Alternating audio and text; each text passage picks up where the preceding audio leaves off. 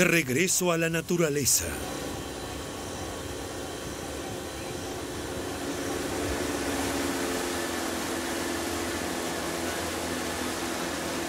El río empasa en Gabón. Eric y Matthew están buscando gorilas. Ya no puedo esperar para verlos. Estamos llegando. Sería genial.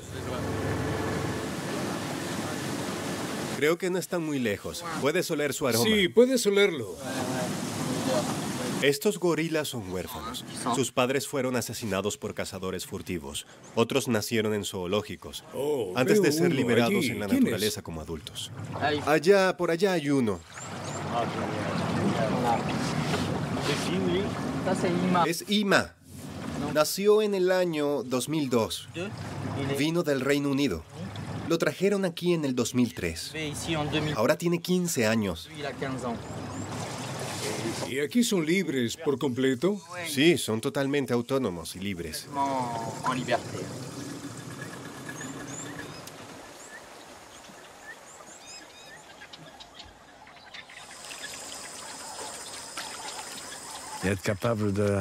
Ellos han llegado tan lejos, fueron devueltos a la naturaleza, tienen buena salud y son muy hermosos. Es muy emotivo, no sé cómo describirlo, es abrumador. Pour le dire, c'est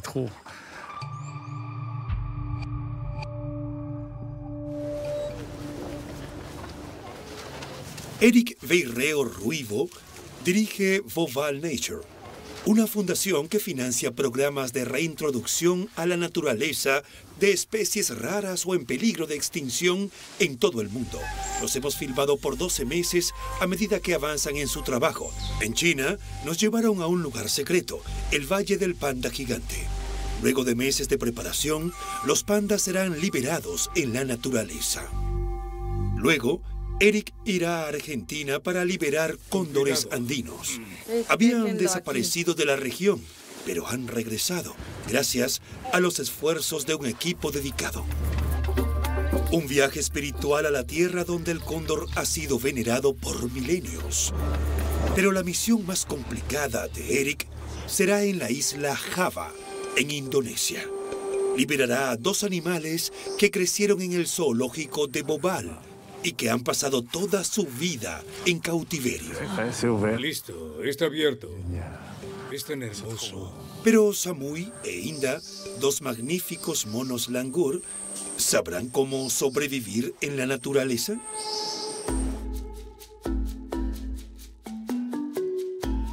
Gabón, Franceville. Nos encontramos con Eric en Gabón, en el Parque Nacional Pateque Plateau, territorio de gorilas. Lejos de las aldeas y los cazadores furtivos, este lugar remoto es el paraíso de los animales. Eric se une al equipo de conservación. Es la única presencia humana en medio de este entorno natural. Los rastreadores y los científicos viven en el campamento base. Solén es la veterinaria del grupo. Aquí comerán lo que encontramos en el mercado local de Franceville.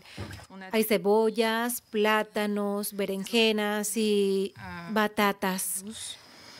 Tratamos de introducir frutas silvestres en su dieta, frutas que probablemente encuentren en el bosque o la sabana.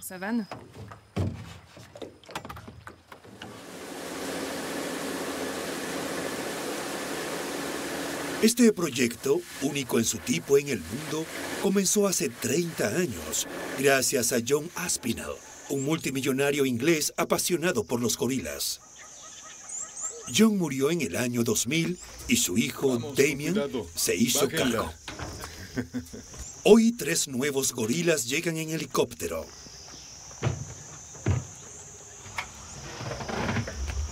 Dikele, Muembe y Rafa son huérfanos. Sus padres fueron asesinados por cazadores furtivos. Los atendieron en el zoológico de la fundación en Inglaterra y ahora están de regreso en su tierra natal. Es una victoria para Muembe. Que vuelva a la vida salvaje. Verá de nuevo a su padre. Es una victoria para Rafa y Dikele, que vieron morir a sus familias a manos de cazadores furtivos, pero ahora vivirán libres donde pertenecen, no en cautiverio. Así que somos positivos y esperamos que esto salga bien. Durante los primeros meses, Dikele, Muembe y Rafa viven en una isla para que puedan aclimatarse a su nuevo entorno. Los tres gorilas, que pesan más de 150 kilos, también deben acostumbrarse a su nueva dieta.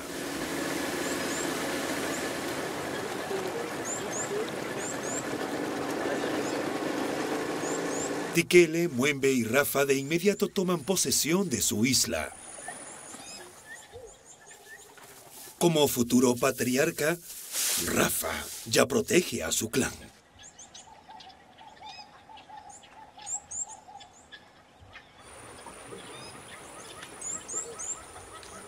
Han cambiado de entorno, lo que ha sido estresante para ellos. Y ahora adaptamos su dieta de la comida que les dieron en el parque a una dieta cada vez más parecida a la que podrán encontrar en el bosque. Eso los estresa aún más. Un cambio de ambiente y un cambio gradual de dieta son vulnerables en este momento. Debemos monitorearlos todos los días y asegurarnos de que no estén perdiendo peso. Una vez que los gorilas se hayan adaptado, este puente sobre el río se abrirá para ser liberados en la naturaleza para siempre. Se unirán a otros 50 gorilas que viven en estado natural. Podrán recorrer miles de hectáreas el equipo ha desarrollado una técnica para encontrar huellas de animales.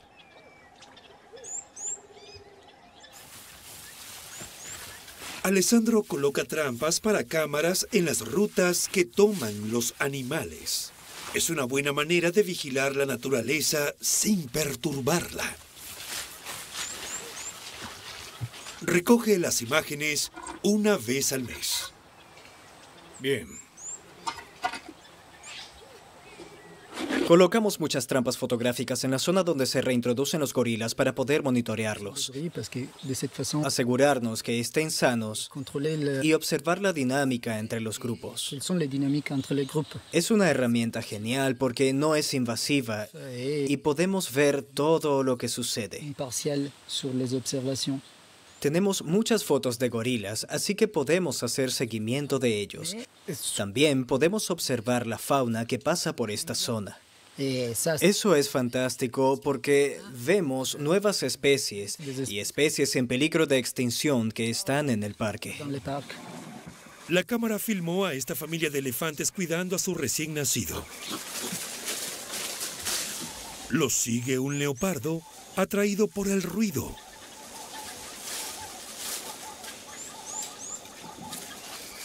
Esta imagen de un león fue tomada en la noche. Es sorprendente porque el león se extinguió oficialmente en Gabón desde 1994.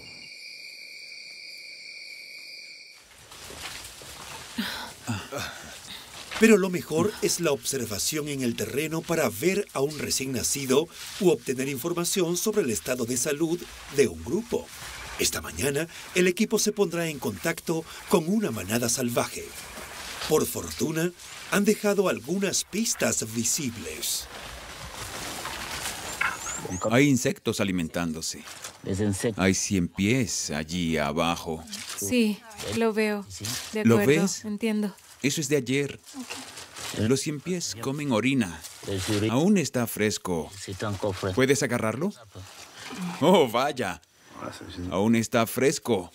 Los insectos comen eso. Bien. Aquí hay excremento de un lomo plateado, el macho de una manada que ahora es autónoma. Veremos los excrementos bajo un microscopio para saber si hay parásitos y, de ser así, de qué tipo y cuántos. Esto nos dará información sobre la salud del grupo. Como los excrementos son muy frescos, la información será bastante confiable. Así fiable. Muchas gracias. De nada. Arriba.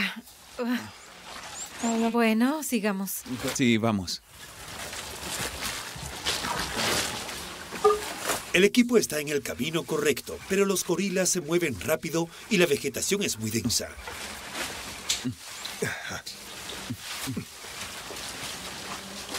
No los alcanzarán hoy, así que volveremos al campamento base.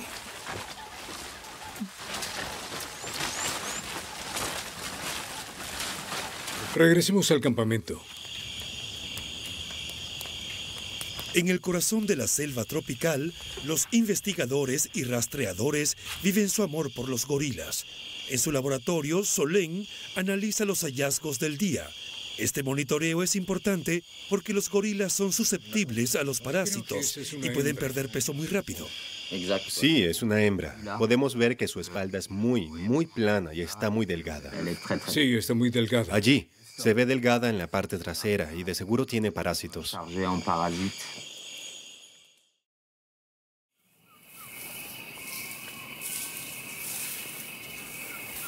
Al día siguiente, Eric y el equipo salen de nuevo en busca del grupo de gorilas. Aún no lo saben, pero les esperan algunas sorpresas.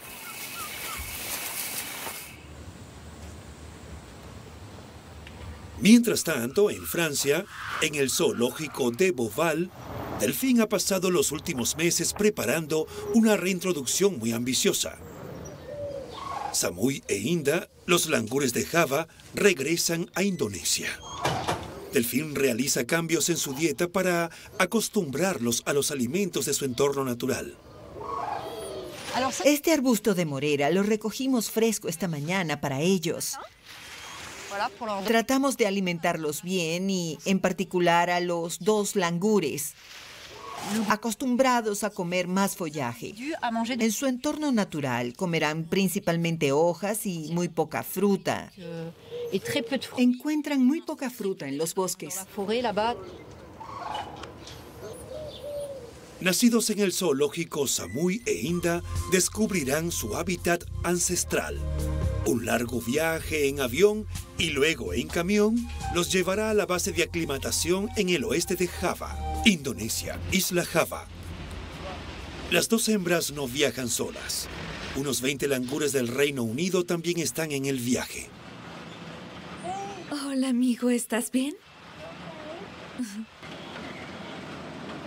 Se ve muy cansado. Pero está bien.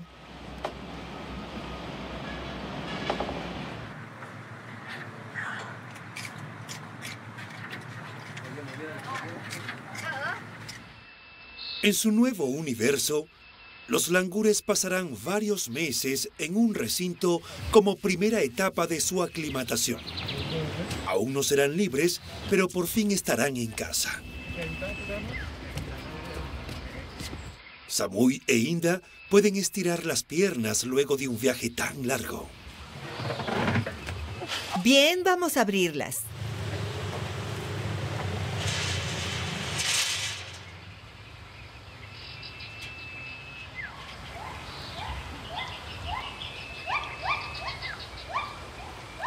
Samui es fácil de reconocer. Es mucho más aventurera que Inda. Ella es más tímida. Ahí está. Lo están haciendo muy bien. Es increíble. Me sorprende ver lo rápido que se han adaptado. Llegaron ayer y se fueron a comer de inmediato. Pasaron horas en un avión, pero todo está bien. Sejid, un cuidador indonesio, le muestra a Delfín el nuevo hogar de los langures. En el bosque, los monos tendrán que encontrar su propia comida y también protegerse del peligro. Con ayuda de un leopardo de peluche, el cuidador enseña a los langures a ser cautelosos con los depredadores. Tenemos langures y otros primates jóvenes que tal vez todavía recuerdan lo que sucedió en la jungla. Así que después de presentarles al depredador, recuerdan y se mantienen alerta, igual que sus padres. Por lo tanto, es fácil rehabilitarlos y, con suerte, quizá no necesiten mucho tiempo para rehabilitarse. Hola, cariño. ¿Samuy?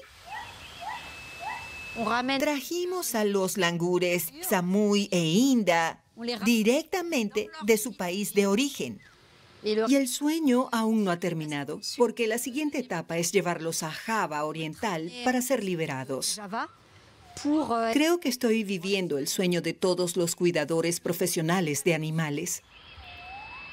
Delfín volverá en seis meses para la liberación. ¿Estos langures nacidos en cautiverio sobrevivirán en la naturaleza?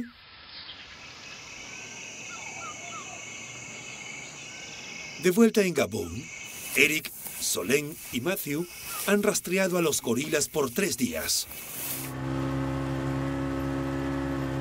Por su parte, los rastreadores bordean la jungla buscando señales.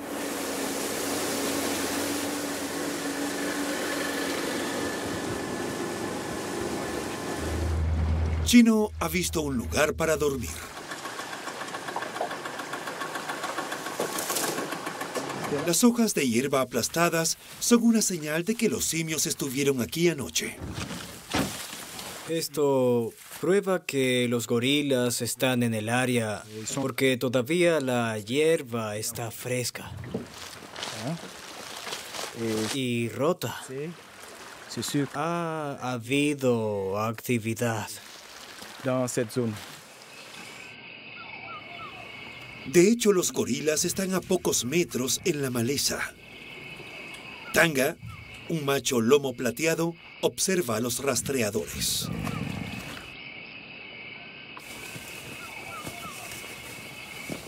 El gorila lleva a su familia hacia el borde del bosque donde están Eric, Matthew y Solén.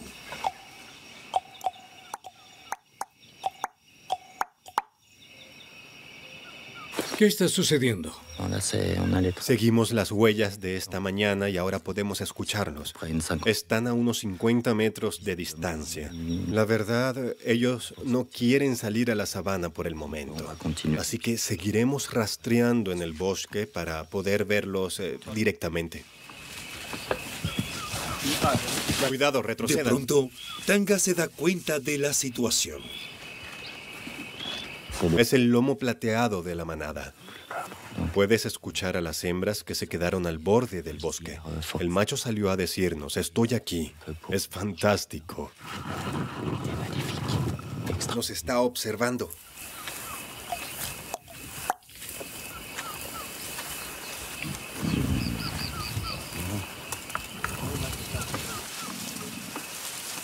Cuidado, permanezcan atrás.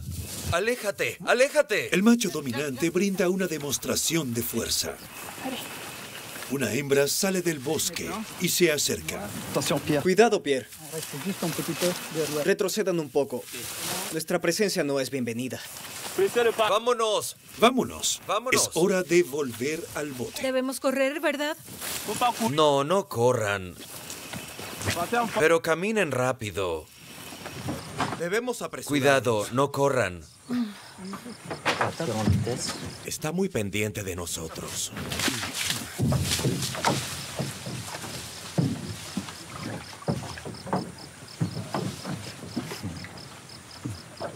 No le agradó que las hembras salieran. ¿Crees que nos habría atacado? No, como regla general. Solo intimidan, siempre desde lejos, nunca directo. Solén acaba de descubrir su primera manada de gorilas. Es un sueño de la infancia totalmente hecho realidad.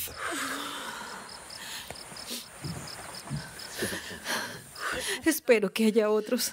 Es mágico. Mágico. Mágico. ¿Fue impresionante? Sí, por supuesto. ¿Cómo podría no impresionarte un animal así?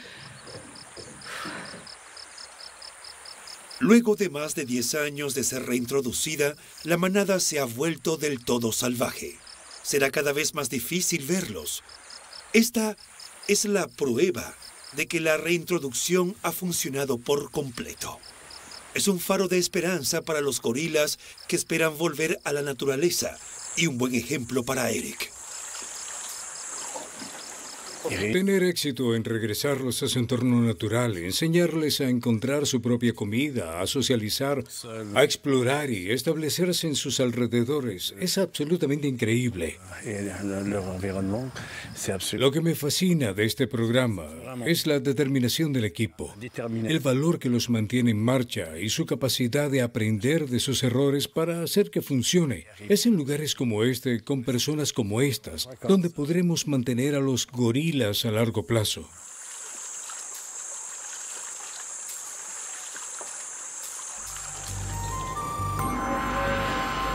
Hoy en día, zoológicos como Boval juegan un papel vital en la conservación de especies raras y en peligro de extinción. Participan en programas que fomentan la cría y la reintroducción de animales en la naturaleza. El más simbólico es el que salva al panda Buenos días.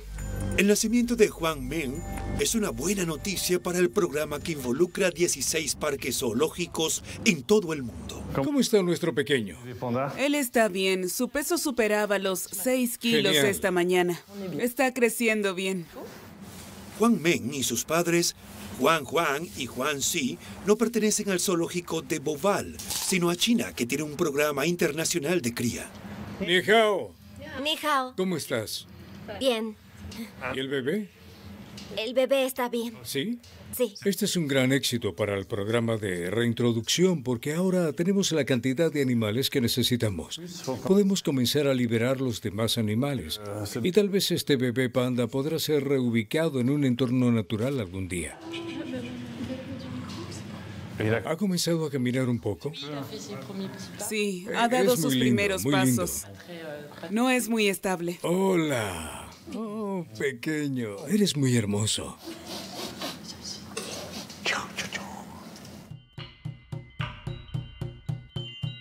China, Chengdu. El panda es el emblema de la región de Sichuan, en el centro de China. Chengdu es su capital. El panda está en todas partes, en todas las formas y tamaños. Incluso hay un centro de cría abierto al público. Cada año, más de 4 millones de visitantes llegan para ver a los nuevos cachorros.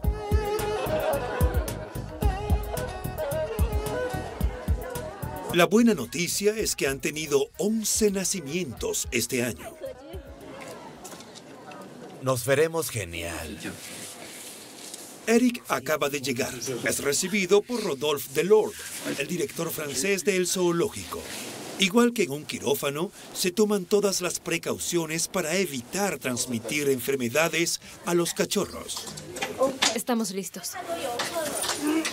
Los cachorros nacieron en primavera. Acaban de salir de la guardería y exploran al aire libre. Ya son muy juguetones.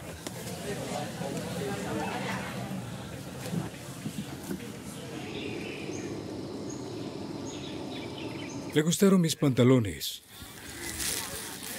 Qué privilegio. Este cachorro tiene seis meses. Comienza a ser independiente y a trepar a los árboles y jugar. Son muy juguetones. Hola, chico. Hola. Hola. Es una sensación increíble ver a estos cachorros de panda, el resultado de un programa increíble. Hace 30 años no quedaban muchos pandas en todo el mundo y ahora podemos reintroducirlos en la naturaleza y llevarlos al Valle del Panda para entrenarlos. Hacer cosas allí es extraordinario. Me está mordiendo, de verdad quiere morderme. Nunca pensé que tendría esta oportunidad. Tiene dientes fuertes. Increíble. El cachorro de Boval debería ser traído aquí, al centro de cría de Chengdu en tres años. Luego será liberada en una reserva de Sichuan.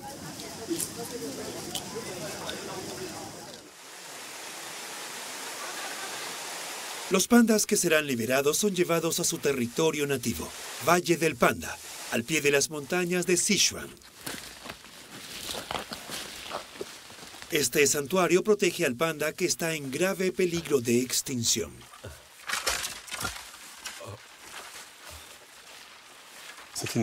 Es una especie que, debido a su biología, no se reproduce con facilidad. El número de pandas nunca ha sido alto y solo lo encontramos en esta región de Sichuan. Es muy lamentable saber que el aumento de la población humana ha llevado a la deforestación y a la desaparición de los pandas, por lo que el futuro de la especie estaba bajo amenaza.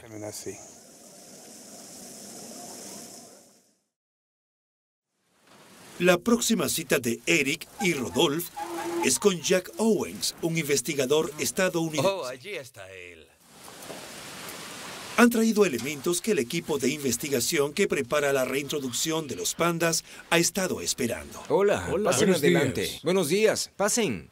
Transmisores de radio y satélite para que puedan rastrear a los pandas. Esta es una antena para transmisores de radio. Una contribución para la reintroducción del panda. Esto es maravilloso, de verdad. Nos será de mucho El costo de la operación, 25 mil dólares. Ha sido cubierto por la Fundación del Zoológico. Ahora tienen la mejor tecnología actual en este tipo Sí. de aparatos. Estos son dos imanes que bloquean la señal. Esto bloquea la señal del satélite. Supongo que bloquea la señal del video. Sí, Sí. genial. Los pandas no viven del todo en libertad, en condiciones similares a las de la naturaleza. No hay más contacto entre los pandas y los humanos.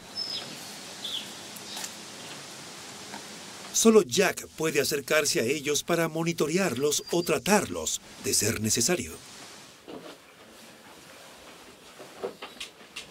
¿Irás a ver al panda? Sí, sí, vamos a entrar y a probar los collares. ¿Es peligroso? No, no, en absoluto. Tienen un año y tenemos una buena relación con ellos, así que ah, no es peligroso. Sí, pueden ser peligrosos, pero no cuando has trabajado con ellos tanto tiempo y conoces su comportamiento. Es tranquilo, muy tranquilo, sí. Tenemos un permiso especial para filmar. Jack quiere probar los nuevos collares. Cuando se trata de atraer pandas, nada supera una manzana.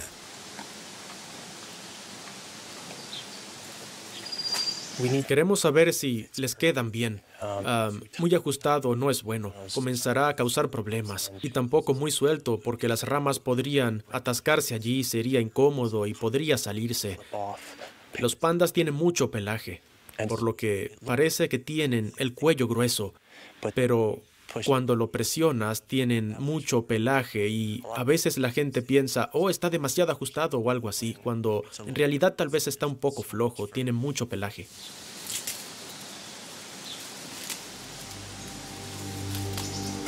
La liberación de animales en la naturaleza es un proceso largo y pasarán muchos meses antes de que los pandas redescubran su hábitat natural.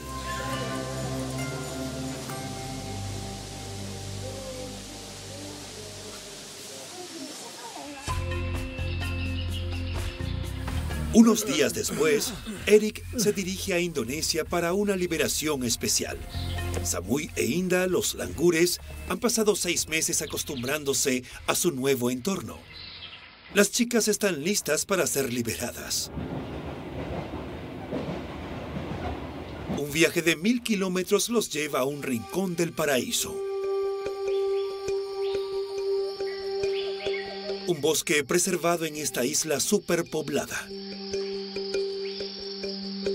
Gracias a la presencia de un templo budista y fuentes sagradas de agua, los árboles siguen en pie.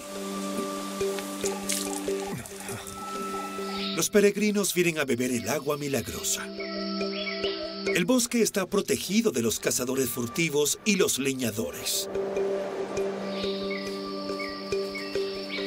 Esto lo hace perfecto para langures.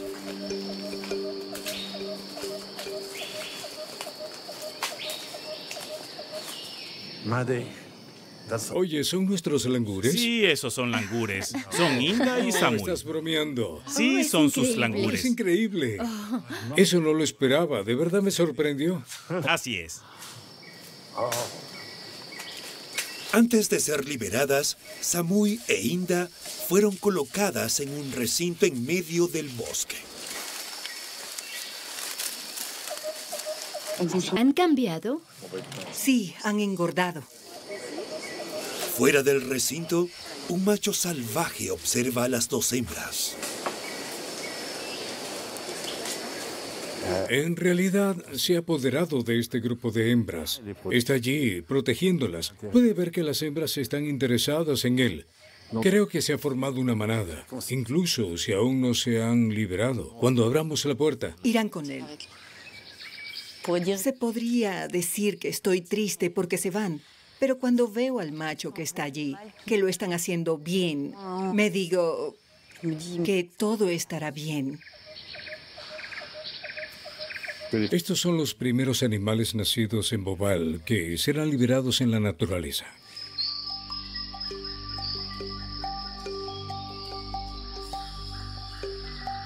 Todo está listo.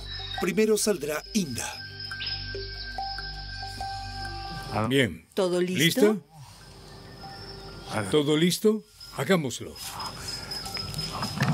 Listo. Está abierto.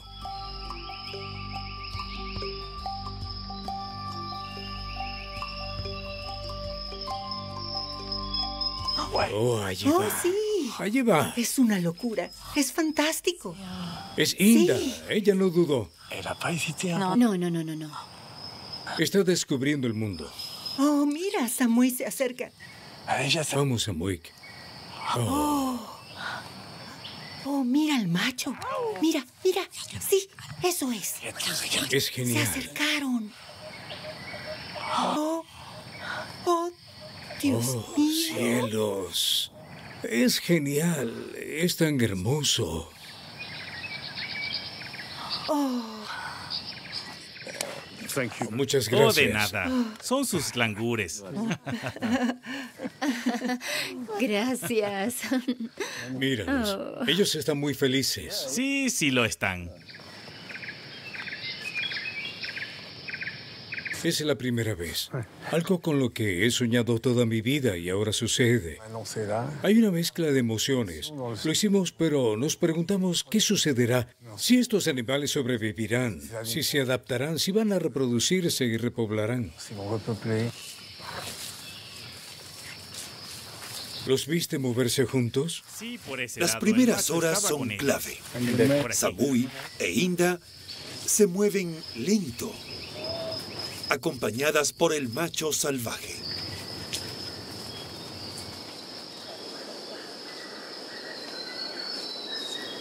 ella se está moviendo. Va detrás. La vi. Está bajando. Puedes ver su cola. ¿Ella va a bajar? ¿Esa es Inda? Esa es Inda. ¿Puedes ver sí, la cola? esa es Inda. Sí, vi la cola. Comienzan a ver qué tipo de árbol y comida hay para que ellos puedan comer. Primero solo prueban y luego siguen intentando una y otra vez comer algunas de las hojas en este bosque. Así que es como la primera exploración para ellos. Ahora que son libres.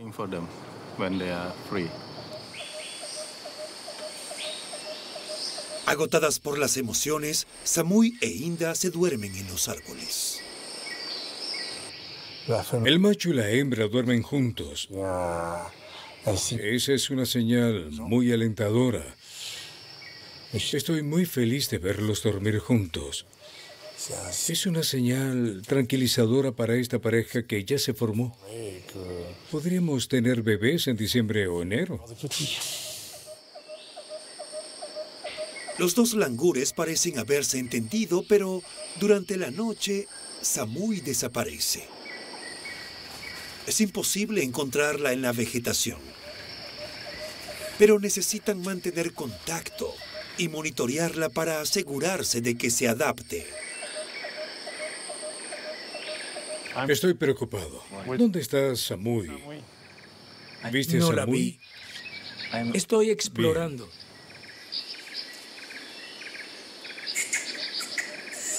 Estoy preocupado porque cuando los dejamos estaban juntos, estaban en el mismo árbol. Y ahora estamos de vuelta y solo podemos ver uno. Vimos al macho, pero ella no estaba con él. Por ahora, Samui no está por aquí o se está escondiendo en alguna parte. Las horas pasan, pero Samui no aparece. Los rastreadores son enviados a buscarla.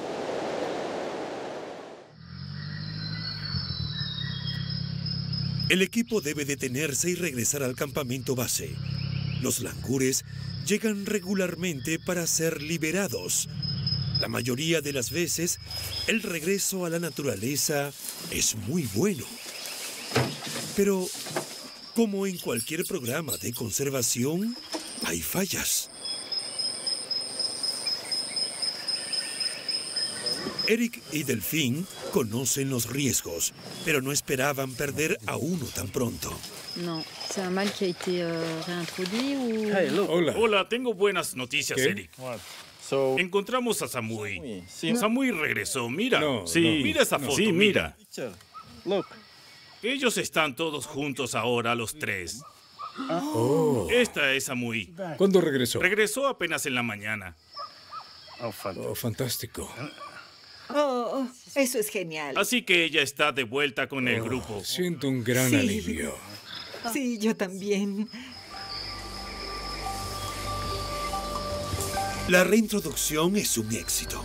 Cuando estén listos, se unirán a una manada salvaje.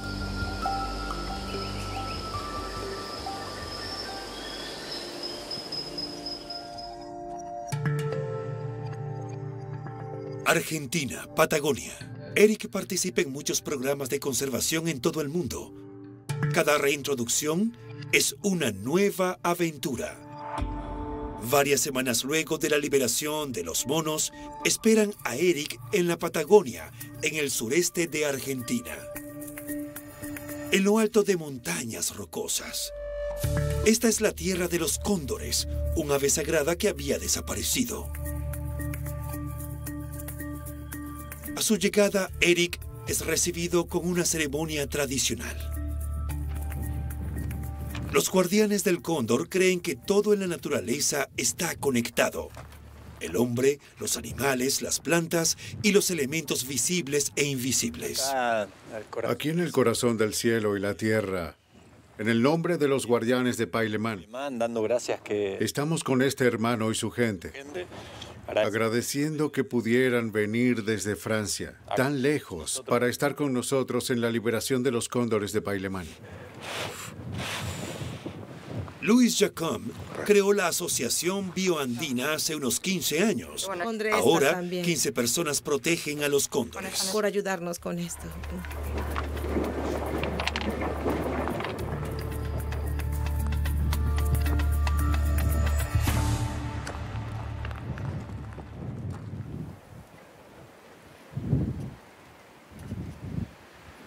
Eric ha traído nuevos equipos que se utilizarán dentro de dos días cuando se liberen tres cóndores. Hola chicos. ¿Qué tenemos aquí? He traído plumas de los cóndores de Bobal para la ceremonia de las plumas. Oh, qué ¿Qué bueno más para tenemos? los cóndores. Transmisores, radiotransmisores. Oh, genial. Eso es.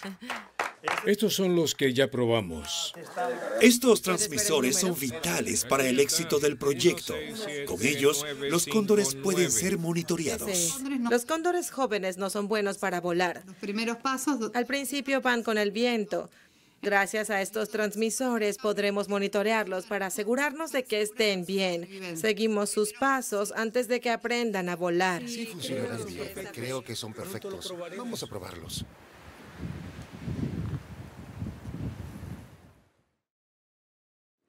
Luis y su equipo han construido un gran aviario en la cima de la montaña.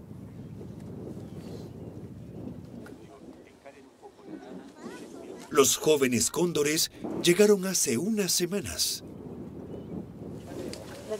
Están esperando ser liberados.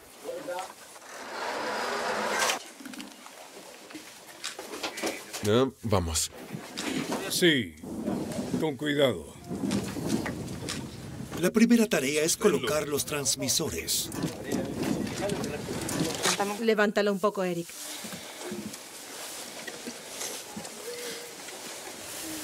Esto no lastima a las aves.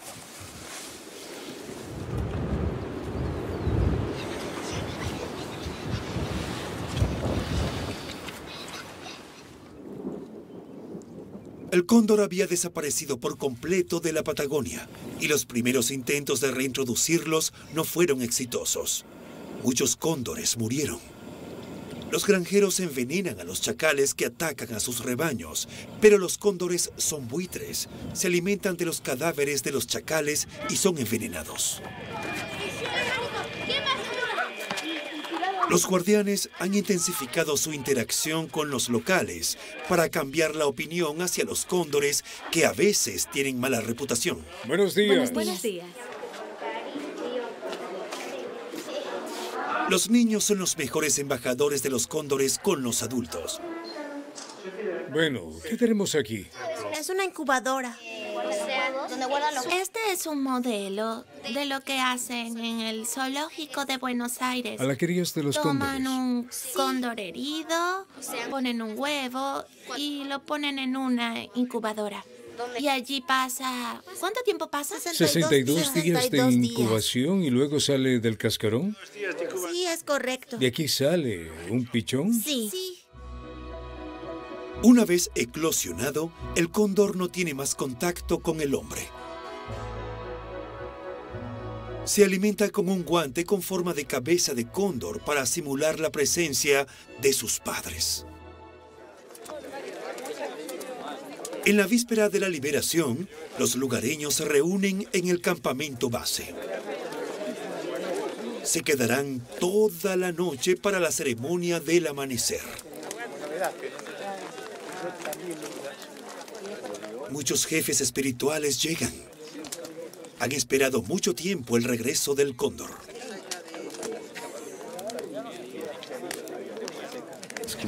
Explican que hay dos mundos. Un mundo aquí en la tierra y el mundo allá arriba, en el cielo. Estos dos mundos se reflejan entre sí. El cóndor brinda una conexión entre los dos mundos y su comunicación. Esta comunicación se perdió con la desaparición del cóndor. La ausencia del cóndor ha dejado a todos sintiéndose un poco huérfanos por sus antepasados.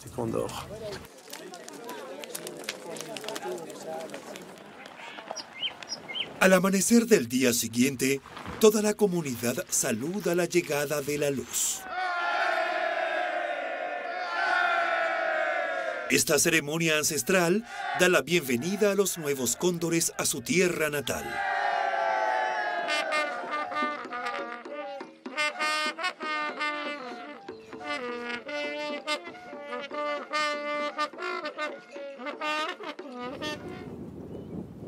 Cientos de lugareños convergen en la montaña.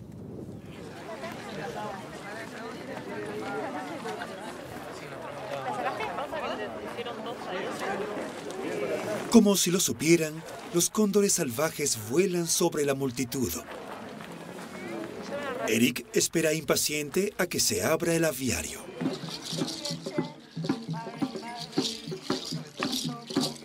La noticia se ha extendido por el desierto patagónico. Se liberarán tres cóndores.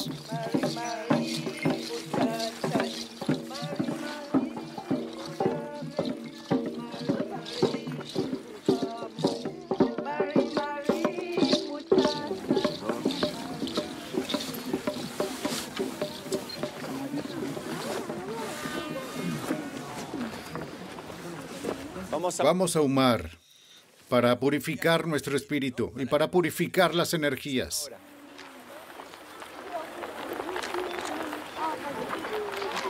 que está ocurriendo es que le... Lo que está ocurriendo es que le regresamos tres hijos a su madre. Creo que ese amor de, de una madre por... Y creo que es el amor de la madre por sus hijos. Y eso... Eso nos ha unido hoy. Y el mío. Eh, es lo que tocó los corazones de las personas. Y el mío también.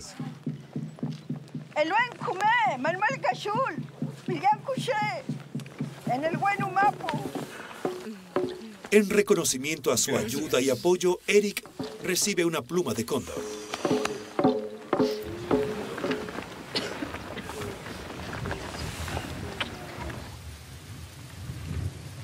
Arriba en la colina, abren el aviario.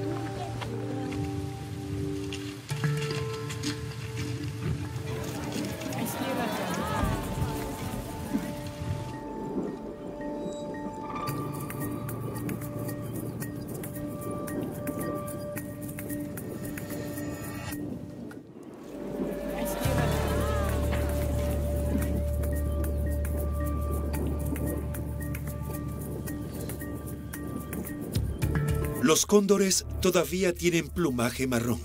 Adoptarán su plumaje blanco y negro cuando alcancen la madurez a los 9 o 10 años.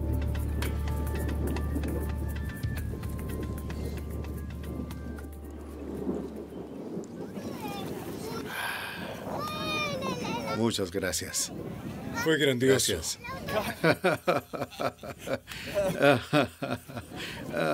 Oh, gracias.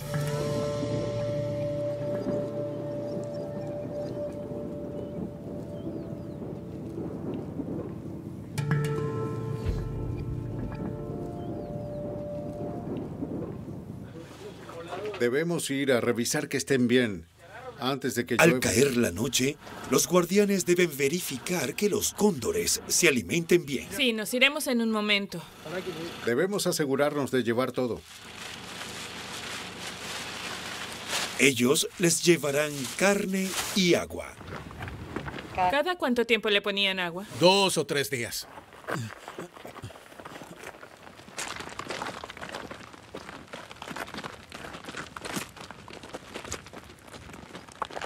Es muy importante. Es muy importante que el joven cóndor no haga una conexión entre la comida y los guardianes. Por eso le dejamos la carne al anochecer.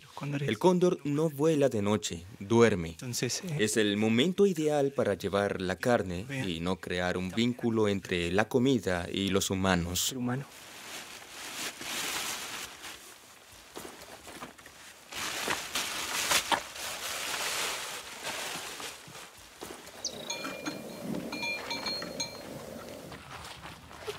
Al día siguiente, Eric y Leandro intentarán seguir el camino de los jóvenes cóndores. Sí, eso creo.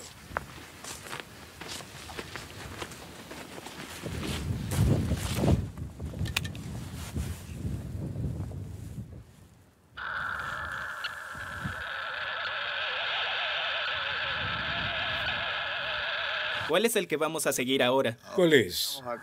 ¿Ese de Déjame allí? sintonizarlo. Tenemos al 61 en el canal 6. 61. Como escuchas, la señal es fuerte. Están justo al frente, no muy lejos, en algún lugar de la montaña. El nivel es alto. Oh, sí. Suena fuerte. Él está allí. Está ahí. El 61 está allí.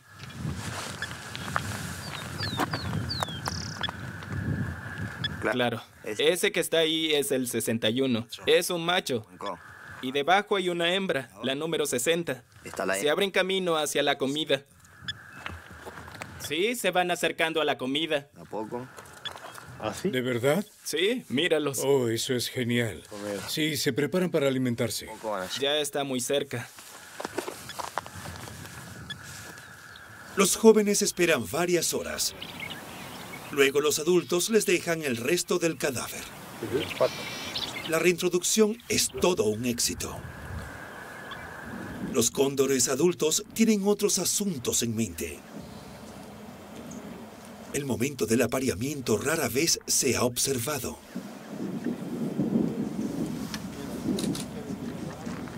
El hecho de que se estén reproduciendo es una señal de que el programa es un éxito. Es cuestión de tiempo antes de que regresen a la costa. El objetivo final es encontrar una vez más cóndores alimentándose en las playas del Atlántico, cerca de las ballenas.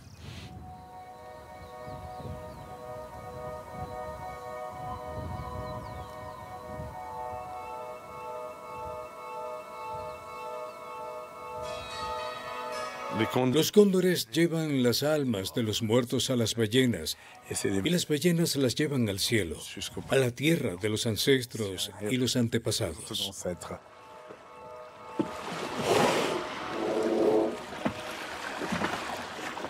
Para la gente de aquí, es importante que los cóndores regresen a la costa. Los cóndores pronto regresarán a las costas de la península Valdés. Solo es cuestión de tiempo. Este tramo de tierra que se adentra en el océano cuenta con una increíble diversidad de vida silvestre como elefantes y leones marinos y una multitud de aves. También es el hogar de la ballena franca austral, Llegan aquí en junio a noviembre para dar a luz a sus crías en las aguas tranquilas. La gente piensa que estoy loco, pero sientes cosas que no puedes explicar. Energías, señales, coincidencias.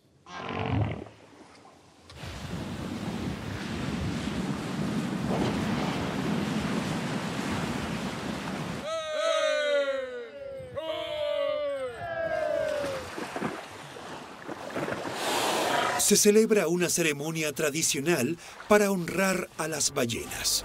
Una de ellas llega a pocos metros de la playa, como para alentar al hombre a mantener la esperanza.